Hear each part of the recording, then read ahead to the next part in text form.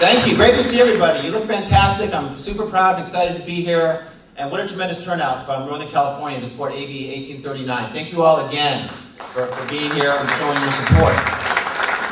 I'm uh, Rob Bonta, honored to serve the great cities of Oakland, Alameda, and San Leandro, right across the bay. All right. East Bay folks in the house. And I'm um, very honored to be a early co-author of AB 1839. And, you know, we all know the story. For too long, California has been losing jobs to other states and countries who offer tax credits that are more attractive than ours. And in the past two years, we've uh, given away uh, thousands of um, jobs and billions of dollars, and there were 55 big budget films that were filmed in 2012 and 2013. How many of those do you think were filmed in California?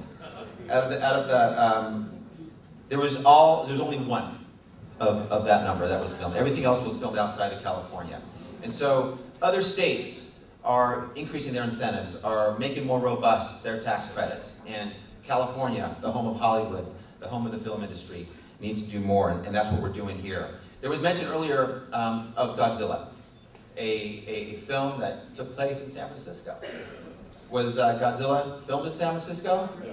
It was not filmed in San Francisco, it was filmed in Vancouver uh, where British Columbia and Canada have much stronger uh, tax incentives and tax credit programs. So we need to do more, and with this bill, I know that we'll be able to, to attract films um, to California. And, and look, for, for you all know this uh, because you're here, but many, many folks believe that this bill is primarily a bill that benefits Southern California, um, as Los Angeles, of course, is the traditional home for the film industry.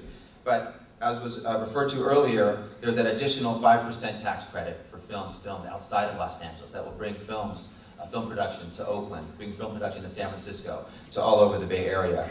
And that's absolutely critical.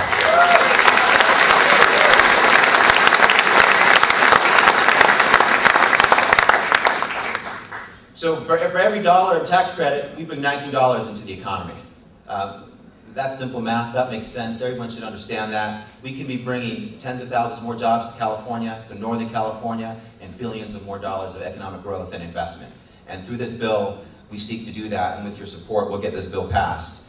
Um, let's bring jobs back to California. Let's bring economic revitalization back to California. Let's make the, Cal the Golden State the home of the film industry once more. Let's make us the proud um, state where the films are made and let's get AB 1839 passed. Thank you for having me.